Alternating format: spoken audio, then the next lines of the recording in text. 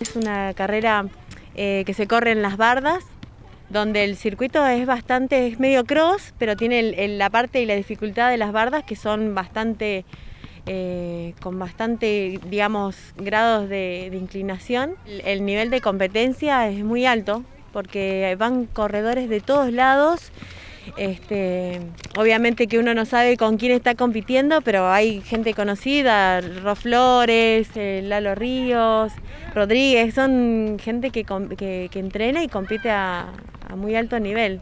Bueno, contenta y seguramente también motivada, ¿no? Después de lo que hablamos, tanto entrenamiento, tanto, tanto esfuerzo diariamente, bueno, esta recompensa. Sí, creo que yo, perdón, yo un poco me emociono porque eh, la verdad es que es, un, gran sacrificio que, hacemos. Eh, los 365 días del año, respetando por supuesto nuestros descansos. Eh, no paramos de entrenar nunca. Entonces uno cuando va quiere explotar, quiere dar lo mejor. Y, y, bueno, esta vez se pudo dar, así que estoy re feliz. ¿Qué es lo próximo para vos? Y mm, estamos viendo, vamos a ver, eh, siempre apunto para, para correr calle, mi objetivo son los 21 en calle, de la media. ¿Cuántos kilómetros fueron ahora? Yo corrí 15, Nano corrió 21, bastante, bastante intenso.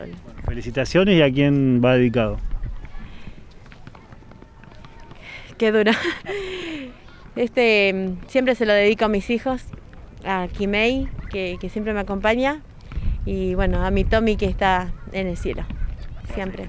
Y un, solo mensajito que por ahí me gustaría eh, compartir. Em, creo que esto se trata de, perseguir el sueño, ¿no? Que una vez me lo dijeron, si, si vos lo querés, perseguí tu sueño. Y es constancia, constancia, perseverancia y nunca darse por vencido.